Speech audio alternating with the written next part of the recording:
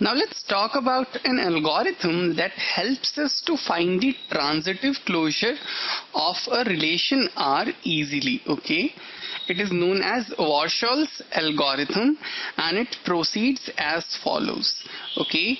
We start off by creating W of 0 which is the same as the matrix representation of the relation R okay? Then what we do is we individually create W1 W2 so on up till Wn is created okay? The transitive closure of R is given by the matrix representation of Wn okay? So let us see how these intermediate matrices W1, W2, W3 are created. Okay. So for that we are going to look into this algorithm. This algorithm says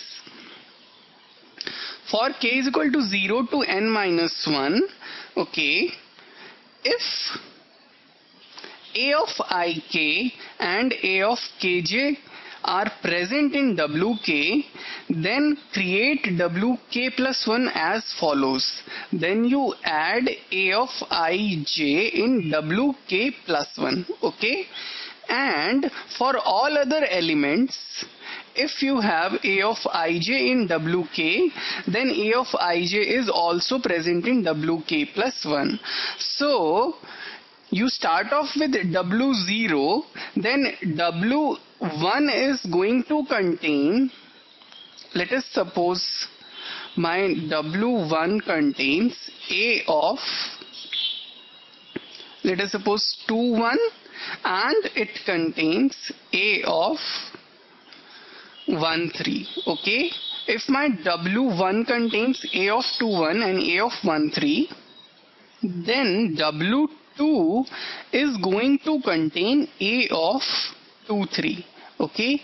And it is also going to contain whatever is present in W1 so it is also going to contain A of 2 1 and A of 1 3 okay? And what is this A of 2 3 it is let us assume my A is like this. A1 A2 A3 up till AN right? Then A of 2 3 is basically A2 comma A3 okay?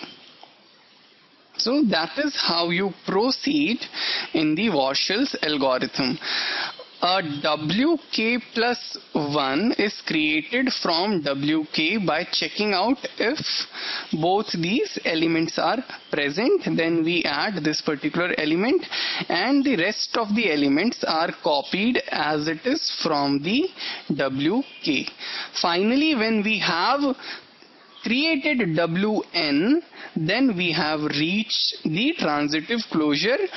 The transitive closure is given by the matrix representation of Wn. You can convert it back into a set form and you will get the transitive closure of your relation. Now let's take an example. Let us suppose that I have been given a relation, okay, and I have been asked to find the transitive relation for that or a transitive closure for that using Warshall's algorithm, okay. So let us see how we are going to proceed just look at this algorithm. I have changed just one thing over here from 0 to n minus 1 I have made it to 1 to n and instead of wk I have written this as wk minus 1 and instead of wk plus 1 I have written this as wk okay? So that is the change we have made. So we are creating wk from wk minus 1 okay so initially we are going to start off with W0. So let us find out what is W0. We know that W0 is equal to matrix of R. So let us create the matrix for R.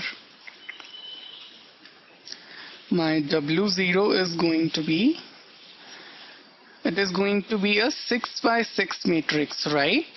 Because I have 6 elements in A.